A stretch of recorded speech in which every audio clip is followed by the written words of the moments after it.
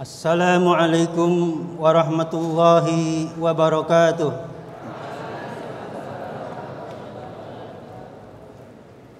إن الحمد لله نحمده ونستعينه ونستغفره ونعوذ بالله من سرور أنفسنا ومن سيئات أعمالنا من يهده الله فلا مضل له ومن يضلل فلا هادي له.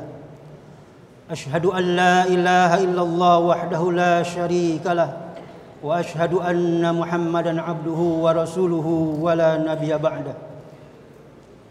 اللهم صل وسلم وبارك على عبدك ورسولك نبينا وحبيبنا محمد صلى الله عليه وسلم.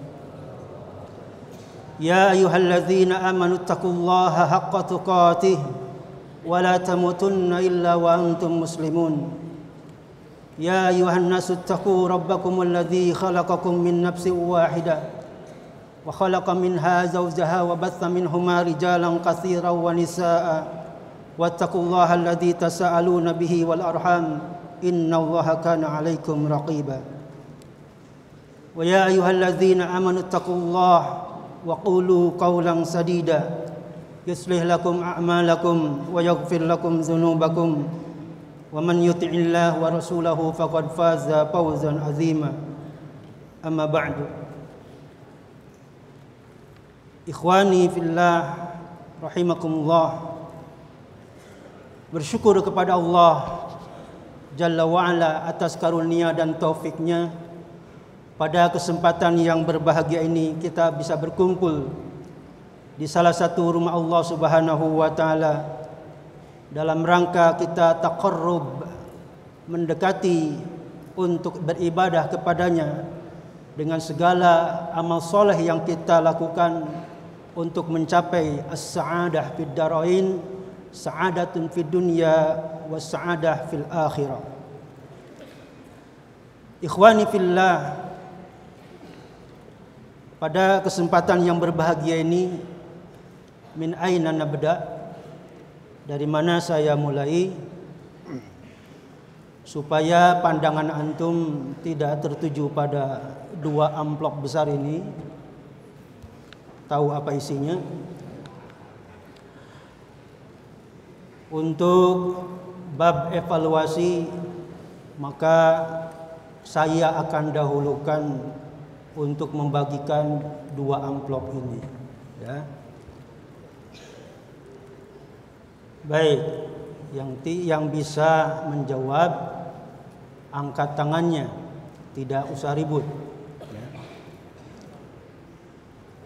dalam pertemuan yang lalu dua muhadir dua pemateri sudah menyampaikan materi yang disampaikan salah satunya yang disampaikan oleh Ustaz Zaipuddin Hafidullah apa yang beliau sampaikan mungkin kalian masih bisa menangkap dan mudah-mudahan tidak menjadi golongan dari yang barho.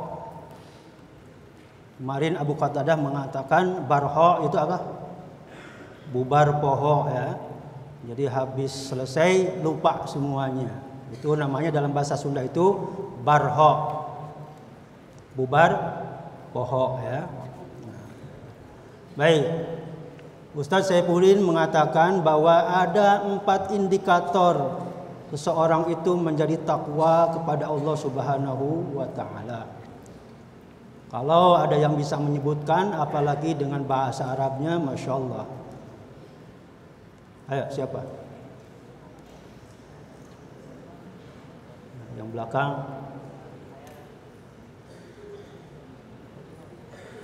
Saya mau yang belakang dulu. Yang kelas 12, kelas 11, kelas 10. Empat indikator bagaimana orang itu bisa dikatakan takwa kepada Allah Subhanahu wa taala. Jadi ada salah satu ulama menyebutkan ada empat indikator. Silakan, sebelah sini. ini berarti barho. Bubar poho. Mana? Ah. Baik.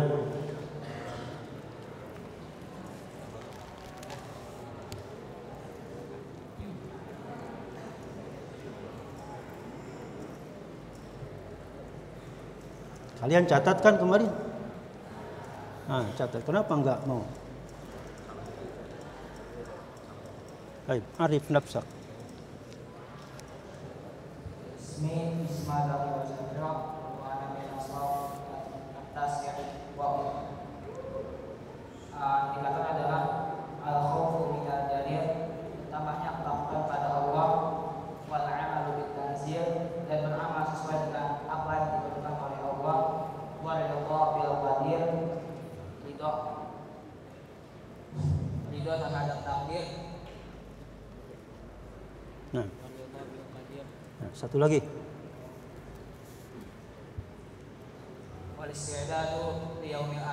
dan selalu bersiap untuk menghadapi hari akhir. Masya Allah, barakallahu fiik. Ya, jazakumullah khairan. Baik, belaka hak. Baik, Afwan. Baik, ya, itu empat indikator, empat ciri bagaimana kita menggapai ketakwaan kepada Allah Subhanahu wa taala. Jadi al khawfu bil jalil ya. Yang kedua apa? Al amalu bit tanzil, yang ketiga ar-ridha'u bil qalil, yang keempat al isti'dadu li yaumir rahil. Ya. Baik, masya-Allah. Ya. Mudah-mudahan yang lainnya juga sama ya. Baik. Yang kedua, pada pertemuan yang kemarin Ustaz Mustafa mengatakan bahwa sobar, sobar itu sebagian ulama membagi kepada tiga bagian. Yang bisa silahkan, cung. Masya Allah. Anta Hasan. Baik, belabas. Karena sudah ngacung duluan. Fadal. Kasih mik, kasih mik.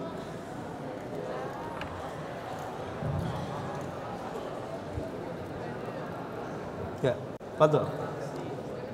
Ya, macam-macam sabar.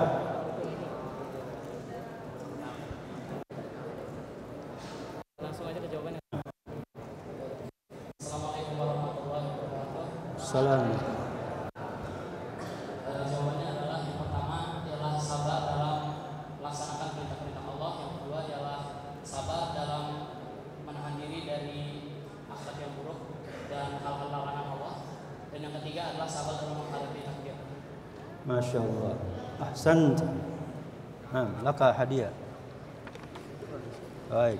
Masya Allah. Kan ini sering muncul lah. Masya Allah.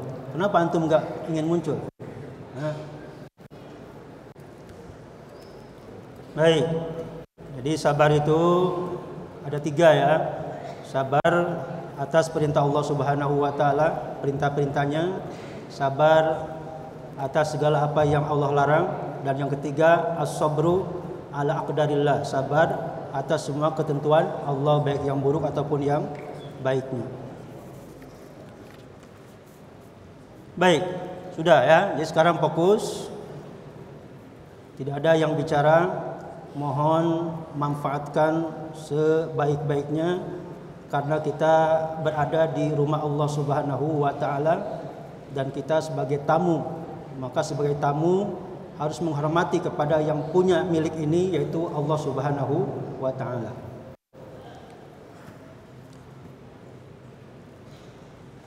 Sebelum saya masuk kepada materi tadi sudah disampaikan bahwa takwa itu tidak mudah kita untuk mencapainya. Tapi bab untuk mencapai ketakwaan itu sangat banyak. Dalam ayat-ayat yang selalu disampaikan oleh para khatib ketika entah itu naik di mimbar solat Jumat ataupun di pertemuan-pertemuan maka ada selalu satu ayat yang selalu dibicarakan, yang selalu dibacakan dan diterangkan dengan sejelas-jelasnya. Tadi juga saya membacakan ya ayyuhallazina amanu taqullaha haqqa tuqatih wala tamutunna illa wa antum muslimun. Bagaimana kita mengejar ketakwaan kepada Allah Subhanahu wa taala? Ya. Yang ujung daripada ketakwaan itu Allah tidak menyuruh kita kecuali dengan hasil takwa itu bagaimana kita dijemput oleh Allah Subhanahu wa taala dalam keadaan muslim menyerahkan diri kepada Allah Subhanahu wa taala. Itu esensi bagaimana hasil daripada takwa kepada Allah Subhanahu wa taala. Oleh karena itu, maka untuk menuju bagaimana kematian kita ini dalam keadaan muslim, dalam keadaan selamat, dalam keadaan gembira, dalam keadaan tertawa menghadap Rabb Allah Subhanahu wa taala, maka tentu banyak jalan yang harus kita lakukan dengan dipenuhi oleh rasa sabar tadi. Ulama juga mengatakan bagaimana kalau kita kematian ini dalam keadaan yang menyenangkan. Artinya kalau orang itu meninggal wafat maka orang yang di sekelilingnya adalah merasakan kesedihan. Ya. Kenapa? Karena dia meninggal dalam keadaan husnul khatimah. Dan yang meninggalnya dalam keadaan dia tertawa, dia dalam keadaan gembira, dia dalam keadaan bahagia menghadap kepada Rabbnya Allah Subhanahu wa taala.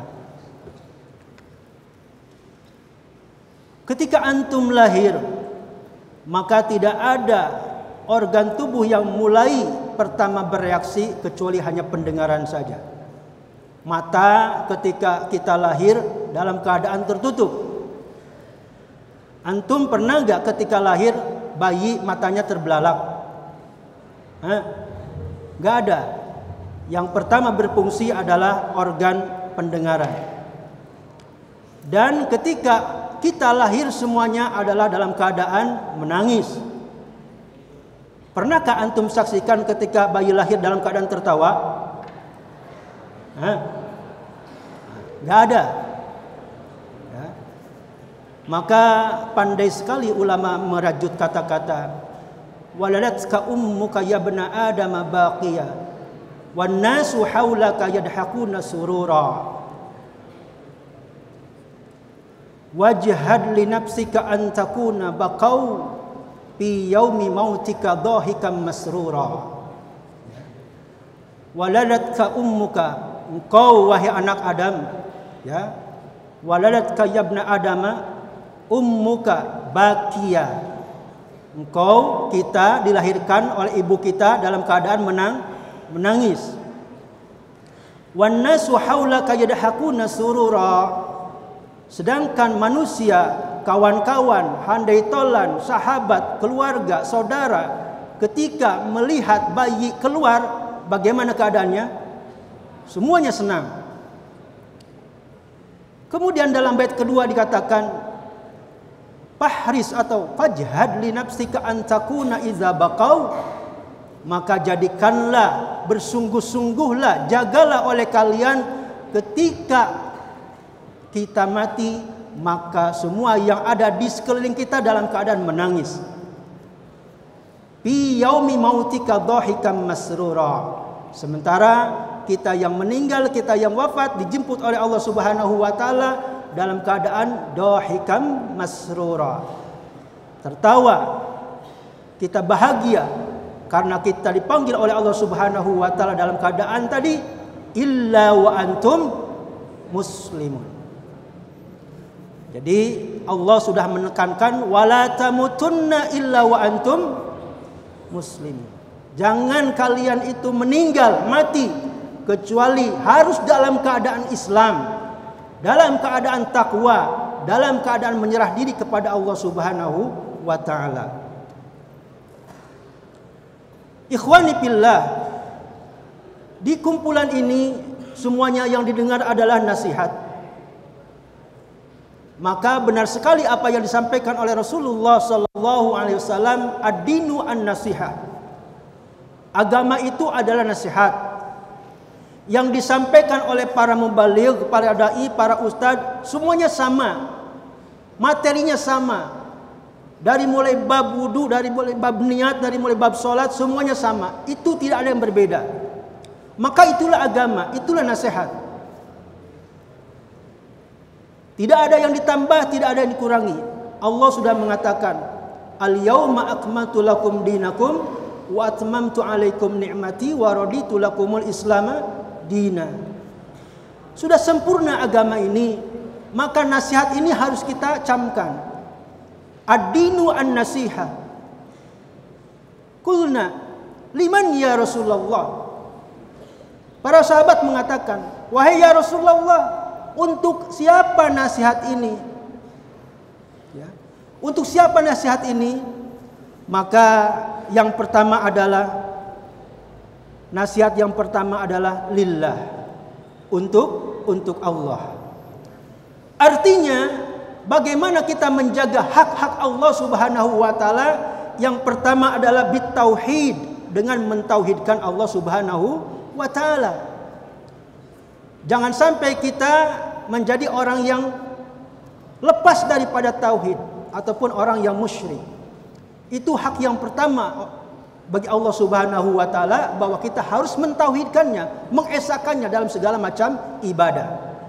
Ibadah kita Solat kita, bacaan Al-Quran kita, doa kita, ikhlas kita, tawakal kita, sobar kita, semuanya ditujukan hanya kepada Allah Subhanahu wa Ta'ala.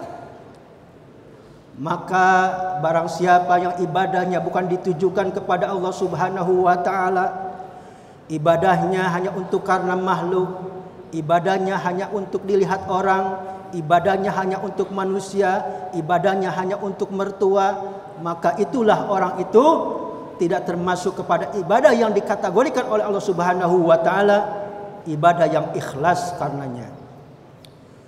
Yang kedua untuk siapa? Wali kitabihi yaitu untuk kitabnya. Allah Subhanahu wa taala telah menurunkan segala apa yang menjadi pedoman bagi kita semuanya sebagai makhluknya yaitu Al-Qur'an maka seluruh Al-Quran itu adalah nasihat. Seluruh Al-Quran itu semuanya isinya nasihat. Maka bagaimana Al-Quran itu menjadi nasihat bagi kita semuanya? Maka kita harus sering-sering membaca Al-Quran. Kemudian liman untuk siapa lagi ya Rasulullah wali rasulihi dan untuk para rasulnya. Rasul para rasul diutus oleh Allah Subhanahu wa taala untuk menyampaikan iblagul haq untuk menyampaikan yang hak mengajak manusia kepada jalan yang benar. Kemudian melarang dari hal-hal yang diharamkan oleh Allah Subhanahu wa taala. Kemudian untuk siapa lagi nasihat itu yaitu untuk wali ummatil muslimin kita adalah umat muslim maka umat muslim ini butuh nasihat maka sekali lagi an-nasihatu hiya ad-din ataupun ad-dinu huwa an-nasihat. Oleh karena itu apa yang ada di sini semuanya adalah nasihat. Kenapa nasihat? Karena semuanya adalah akan mengantarkan kita kepada tadi as-sa'adah, kebahagiaan baik bahagia di dunia maupun bahagia di di akhirat. Ikhwani fillah rahimakumullah. Syarat kalau kita bagaimana menerima nasihat ini, kalau ada memberikan nasihat, ustadz memberikan nasihat ataupun siapa yang dikira itu adalah bermanfaat, maka nasihat itu harus didengar oleh kita dengan husnul insot wa husnul istima'. Harus baik kita mendengar, harus baik kita untuk berdiam. Kenapa? Karena nasihat itu akan tiba di hati kita kalau didengar dengan baik. Tapi kalau nasihat itu tidak didengar dengan baik, maka yang akan muncul tadi kebalikannya. Ya. Artinya kita bertentangan dengan apa yang dinasihatkan. Ikhwan fillah. Oleh karena itu, maka jangan sampai kita termasuk orang yang menyia-nyiakan dari semua nasihat yang disampaikan oleh para guru-guru kita, oleh orang tua kita, Karena bagaimanapun nasihat itu sangat perlu. Kita orang mukmin, orang muslim sangat perlu dinasihati. Kenapa? Itulah yang akan membimbing kita kepada jalan yang benar, jalan yang lurus, jalan yang diridhoi Allah Subhanahu wa taala. Kita semuanya berada di masjid ini, Masjid Riyadus Salihin.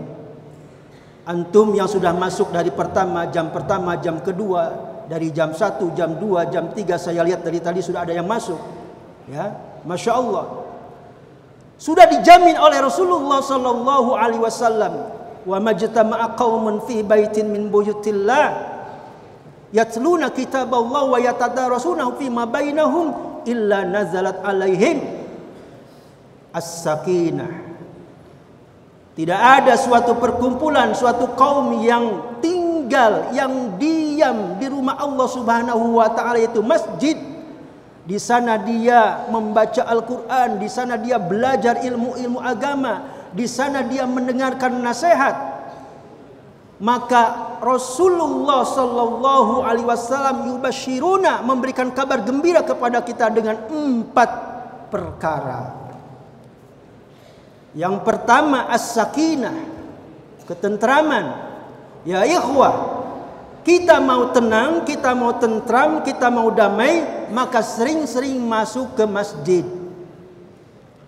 Orang yang diam di masjid betah kerasan itu adalah ikan yang yang hidup. Tapi orang yang tidak betah di masjid, orang yang suka ribut di masjid ini adalah ikan mati. Kalau ikan mati, ikan tongkol mati, eh, mau dijadikan ikan dikaleng bisa, mau dijadikan ikan bakar bisa, mau dijadikan ikan goreng bisa, mau dipepes bisa mau dijadikan pindang, bisa. Itu ikan apa? Ikan mati. Artinya nggak punya pendirian. Kalau ikan hidup, dia nggak mau. Udah fokus satu, namanya juga hidup. Maka yang hidup ya di masjid ini berarti hatinya hidup. Berarti itu ikan yang yang hidup. Paham? Kalau ikan mati tadi ada orang yang ngajak iseng, iseng. Ada orang yang ngajak ngobrol, ngobrol. Ada orang yang ngajak apa? Canda, canda. Itu mati. Ikan ma, ikan mati. Mau jadi ikan mati, jadi ikan hidup. Ikan hidup. Kalau ikan hidup, ya, jadilah ikan hidup yang berarti. Ya, jadi ketika di masjid supaya tenang as-sakinah maka jadilah ikan hidup. Yang kedua, wa humur rahmah. Allah akan menurunkan rahmat apalagi di bulan Ramadan yang mulia ini. Rahmat Allah turun di masjid ini.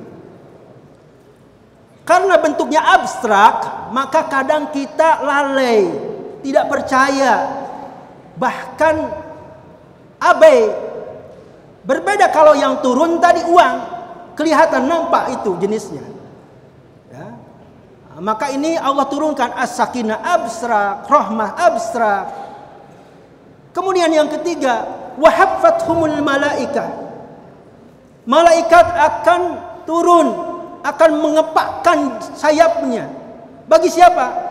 Bagi orang yang diam di masjid dengan catatan tadi dia membaca Al-Qur'an, mendengarkan nasihat, murojaah, itu catatannya adalah takwa, takwa semuanya.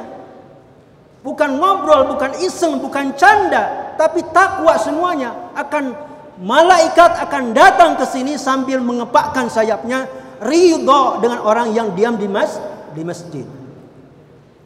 Malaikat punya sayap. Malaikat punya sayap. Nah, malaikat itu bersayap. Punya sayap yang paling besar sayapnya siapa? Malaikat Jibril. Penghulunya malaikat. Maka kalau kalian mau di ya dibentangkan sayapnya oleh para malaikat di masjid ini syaratnya takwa.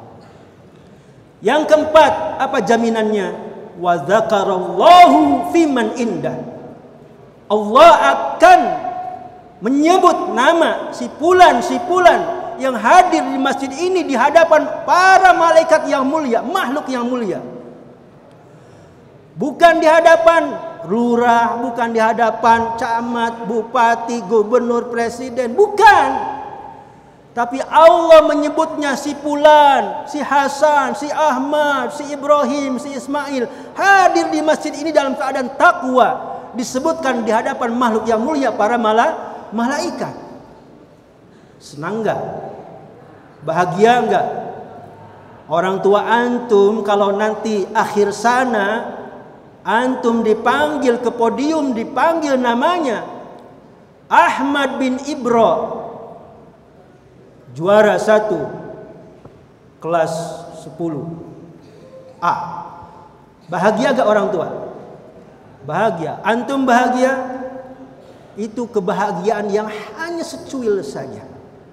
Tapi kebahagiaan tadi yang kita kadang luput kebahagiaan Allah menyebut nama kita di masjid ini karena takwa dasarnya di hadapan para malaikat malaikat Allah akbar ikhwatal iman rahimani wa masuk kepada apa yang menjadi tugas saya dalam materi ini adalah bagaimana keutamaan sedekah di bulan Ramadan yang mulia ini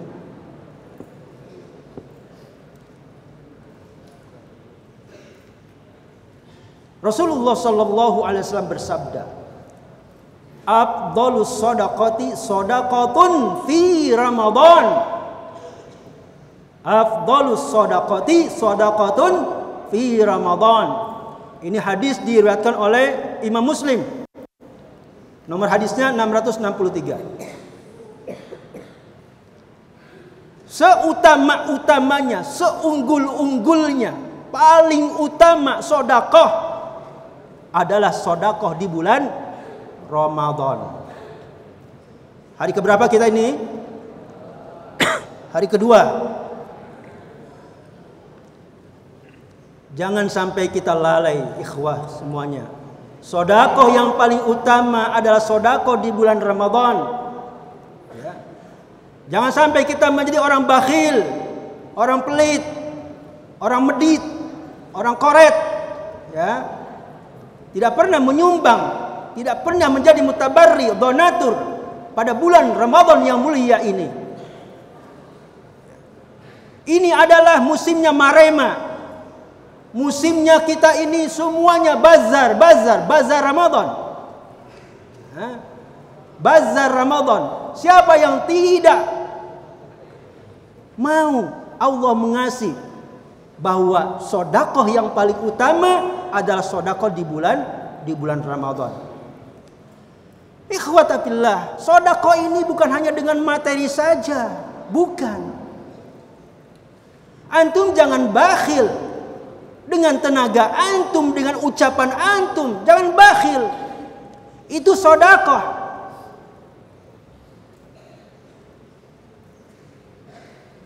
Rasulullah Sallallahu Alaihi Wasallam telah menuntun kita Kata Rasul, haqqul muslimi 'alal muslimi sittun.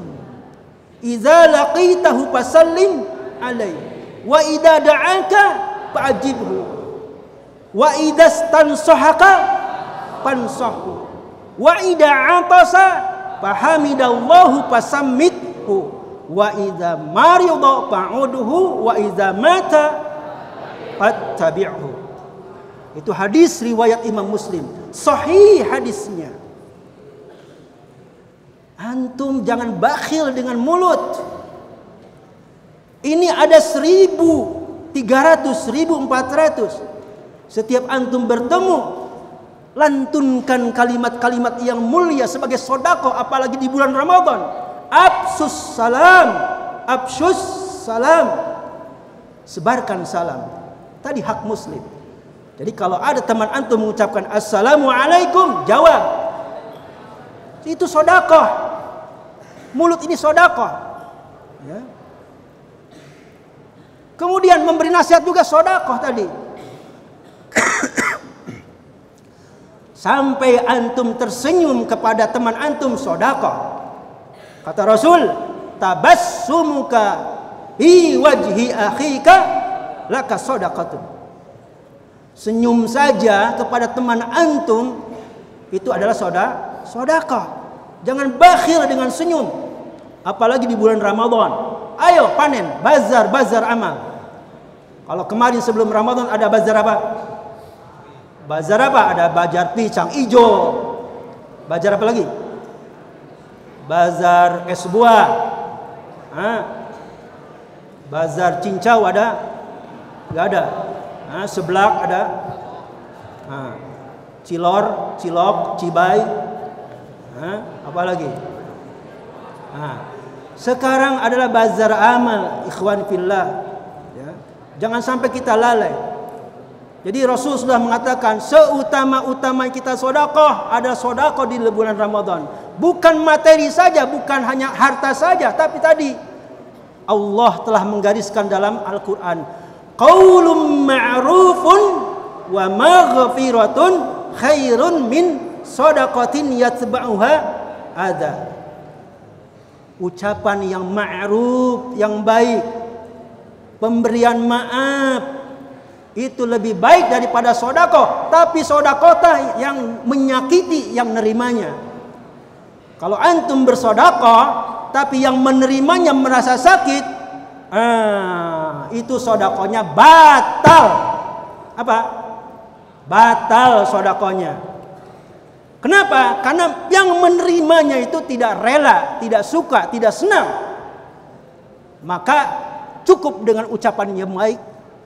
Orang itu senang, itu sodakah. Tapi kalau antum mengasih sesuatu, misalkan dia ngasih uang, ini saya, saya kasih uang, ya. Tapi jangan minta-minta lagi ya. Nah, itu yang menerimanya enak gak? Gak enak. Berarti itu sodakonya ya gak ikhlas. Maka Allah menggariskan lagi dalam ayat berikutnya, "Ya ayyuhalladzina amanu la tubtilu shadaqatikum bil manni wal adha." Hei orang-orang yang beriman, janganlah kalian membatalkan sedekah kalian dengan menyebut-nyebut sedekah yang sudah diberikan itu. Gak boleh itu ya. Kita sodako terus aja diulang-ulangi. Oh saya sodako begini, begini. Jumlahnya ini dan itu. Itu batal sodakohnya. Apalagi kalau tadi yang menerimanya itu merasa tidak senang, tidak merasa dihargai. Jadi antum bersodakoh ingat rumusnya harus ikhlas. Ya, sekali lagi abdulus sodakoti sodakotun fi Ramadan. Sebaik-baiknya, seutama-utamanya sodakoh adalah sodakoh di bulan Ramadan. Sodakoh tidak hanya berkisar pada harta, pada ucapan, termasuk juga ini pekerjaan. Ikhwafillah. Antum jangan bakhil di bulan Ramadan ini. Ada orang yang membaca Quran menjelang adzan atau menjelang mau salat, Qurannya mau diletakkan karena dia jauh maka orang itu meminta bantuan tolong letakkan antum jangan menolak Hah? kalau menolak antum menolak soda sodakoh antum dengan rela masya Allah tang ya. Begitu enggak? Hah? ada orang yang di sini baca Quran tempat Qurannya jauh kalau dia berangkat ke sana sudah diisi duluan sama yang lain. Hah? maka nggak apa-apa orang itu minta tolong. Saya kasih sodako nih. Kenapa? Antum punya kekuatan untuk meletakkan Quran di tempatnya lagi masya Allah itu soda sodako nanti kita mau iftar jangan bakhil dengan sodako antum merasa sudah kelasnya di kelas 6 kelas 5 kelas 10 atau kelas 4 apa fungsinya? Apa kerjaannya? Ketika mau iftar, oh, saya mah diam saja karena saya kelas, kelasnya sudah besar. Ya. Ah, itu ya ikhwah, salah. Ya. Jangan nunggu yang lain itu sedekah. Datang kurma, bagikan itu. Tangan antum itu sedekah. Datang orang yang bawa air, antum ambil cepat, kasih itu sama teman antum. Itu sedekah. Antum nggak bisa beli, minimal antum ngasih itu kepada orang yang mau buka. Sedekah bukan? Sedekah. Ya. Jadi sedekah itu bukan konotasinya dengan memberikan uang saja, harta saja, bukan ya ikhwah. Tenaga, ucapan itu sedekah. Ada di sini lantai kotor banyak pasir. Antum diam saja. Saya sudah kelas dewasa. Ya, masa mau nyapu? Antum ini membiasakan yang kurang bagus. Sodako itu ambil sapu, sapu. Itu sodako. Apalagi di bulan Ramadan.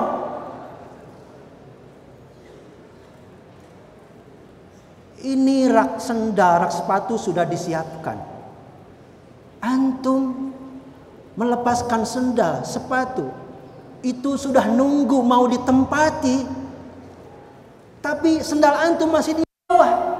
Masya Allah. Tangan ini gak mau sodakoh. Cuma membawa sendal ke tempat rak sepatu. Susahnya minta ampun. Bakhil amat. Hah? Bahil gak? Bahil. Cuma memindahkan doang ke rak sepatu. Rak sepatunya sudah nunggu mau ditempati. Hah? Itu bakhil.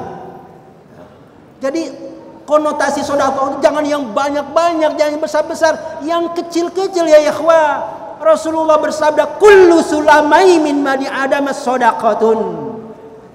Setiap persendian Bani Adam adalah nilainya sodakoh. Antum hitung di sendi ini berapa tangan? Minimal 15. 1 2 3 1 2 3 1 2 3 1 2 3 1 2 3. Luas jari kita ini ada 5. 5 kali 3 15. Ini 15 sendi. Kalau kita gunakan menyapu masjid aja cuma 1 meter, Masya Allah, pahalanya luar biasa. Nggak usah satu masjid, satu meter aja itu luar biasa. Jadi sodako itu bukan hanya dengan harta ya ikhwah. Ini dengan amal kita. Ya. Antum melihat mushaf, mushaf berserakan, tidak rapi. Ketika antum terakhir pergi dari masjid, Masya Allah ini mushaf. Antum dengan sukarelanya mengharapkan ridho Allah, antum tata yang rapi, antum disusun. Orang ketika masuk ke masjid, masya Allah, ini musab tertata rapi. Siapa yang merapikannya? Gak ada yang tahu. Allahu Akbar. Jadi sodako itu bukan yang besar saja, yang kecil banyak itu. Baik, yang kedua hadis Rasulullah Sallallahu Alaihi Wasallam. Karena Rasulullah sallallahu alaihi wasallam ajwadan nasi wa kanu ajwadu ma yakunu Ramadan hina yalqau Jibril. Wa kana Jibril yalqau fi kulli lailatin min Ramadan fayudarisul Quran pali rasulih sallallahu alaihi wasallam. Hina yalqau Jibril ajwadu bil khair minar rihil mursalah. Saya artikan yang paling ujungnya saja. Rasulullah Sallallahu Alaihi Wasallam di bulan Ramadan ini beliau paling dermawan, ajwad, ajwadun nas, manusia yang sangat dermawan, paling dermawan. Kedermawanan Rasulullah Sallallahu Alaihi Wasallam tambah-tambah lebih-lebih ketika ada di bulan Ramadan. Tahu angin? Kalau masuk botol jadi minyak minyak angin. Nah, kalau keluar yang dari perut kita namanya keluar angin berarti ken, kentut, ya. Nah, beberapa bulan yang lalu ada angin tornado. Nah, ternyata tornado itu bukan di luar negeri, sudah datang ke Ranca Ekek. Nah, di mana tuh? Bandung. Ya. Itu angin tornado. kebaikan Rasulullah sallallahu alaihi wasallam lebih baik daripada angin tornado. Ya. Apalagi di bulan yang mulia ini, lebih-lebih kebaikannya, masya Allah. Maka jangan sampai bakhil. Rasul berkata, "Ittaqin nara walau bisyikki tamrin."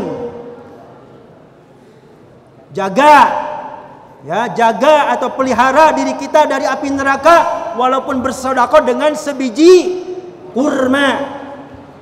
Ya, jangan sampai kita merendahkan ada orang yang sodako dengan sebiji kurma. Sodako. Baik ikhwatal iman karena biasanya berhentinya di jam segini, betul nggak? Masya Allah. Kalau mau akhir rame, Hah? Masya Allah.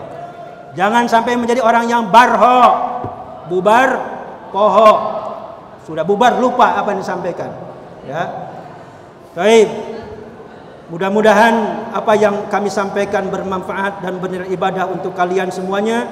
Kita akhiri dengan doa kafarat majlis. Subhanakallahumma bihamdika asyhadu an la ilaha illa anta astaghfiruka wa atubu ilaik. Wassalamualaikum warahmatullahi wabarakatuh. Albina TV membina iman, ilmu dan akhlak